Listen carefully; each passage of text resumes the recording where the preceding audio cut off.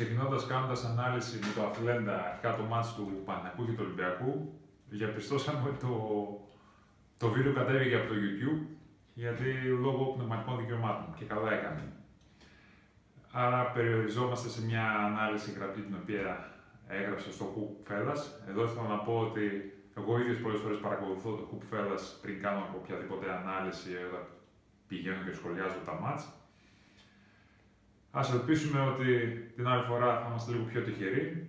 Θα μπορέσουμε και εμείς μέσα από το Atlanta να φτιάξουμε τη ε, διαδικασία όπου θα ανεβάζουμε το, τα βίντεο στα δικά μας server και θα, θα μπορέσουμε να κάνουμε μια πλήρη ανάλυση μέσα από το Atlanta. Τα νούμερα είναι λίγα βλέποντας τον αγώνα. Βλέπουμε ότι η στατιστική μας λέει πολλές φορές ψέματα και εδώ συγκεκριμένα και ο Παναθηναϊκός σε όλα τα νούμερα ήταν καλύτερος.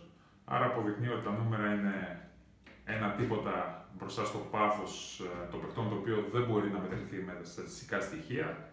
Δεν θέλω να κάνω μεγάλη ανάλυση διότι το μάτς αυτό που πρέπει να μας απομείνει είναι η όμορφη ατμόσφαιρα και σίγουρα το τελευταίο παιχνίδι του Δημήτρη Διαμαντίδη που είναι και φίλος μου και συμπαίκτης μου ε, και από αυτό το μάτς αυτό που κρατάω είναι μια ωραία νοσταλγία και ένα ωραίο συνέστημα. Αυτό. Carson.